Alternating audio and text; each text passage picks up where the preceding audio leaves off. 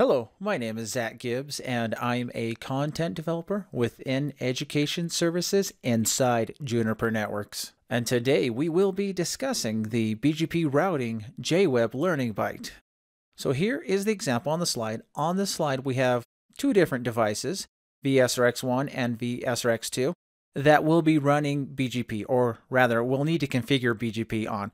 Well, actually, BGP is configured already on VSRX2, and we will only be configuring BGP on VSRX1 for the sake of time. And OSPF is already configured and working between VSRX1 and VSRX2, so there's no need to worry about getting that up and running. And then we have the user device that is connected to VSRX1. Then VSRX1 also connects to VSRX2. And then we have the DMZ server that connects with VSRX2. So with this, we want to configure BGP routing on VSRX1 using JWeb. And what we need to do is we need to configure an external BGP session with the ISP router, and then we need to configure an internal BGP session on VSRX1 that will connect with VSRX2. And after we have BGP working, we need to ensure that the user can communicate with hosts on the internet.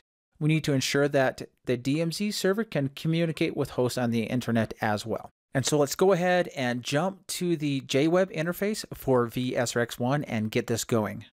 All right, so here is the JWeb interface for VSRX1. Let's go ahead and get to the network routing BGP workspace, and this is under the configure section. We need to first create a new BGP group. Click the create button, and let's call this group ext-bgp for external BGP. And we're going to connect to the internet router that uses the autonomous system number of 65111. And then we need to go to the neighbors tab, and we need to configure a static neighbor and this is going to be using IPv4. So we need to type the address for the neighbor, and we don't configure a local address here. This is a little different than for those of you who are used to configuring BGP in the CLI, whereas you would actually set the type of BGP session by setting it as external or internal. Here, there's no option for internal or external.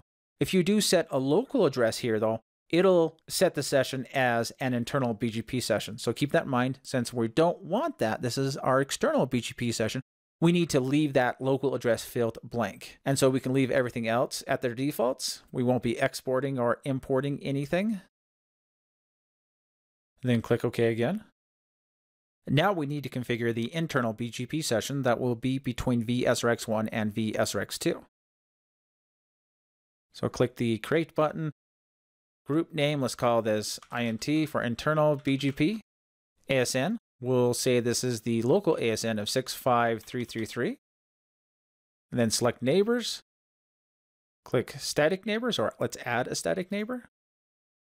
Enter the address. This is going to be the loopback address of VSRX2. And then we need to enter our local address. Now remember, adding a local address will set the BGP type to internal. And then we do need to add an export policy here. Since we will be receiving a default route from the internet provider through BGP, we need to export that into internal BGP. And so typically you do that with a next hop self policy. And that's already been configured for the sake of time. And we're just going to add that in here. We already have it configured. Under export policies, we're adding it. Click OK. We can see that under export policy that it is added. So let's click OK here. Click OK again and click OK. Now we do need to configure some global information for BGP. We need to set the local autonomous system number. So let's click the edit button for the global information. And then for the router autonomous system number, we're going to set 65333.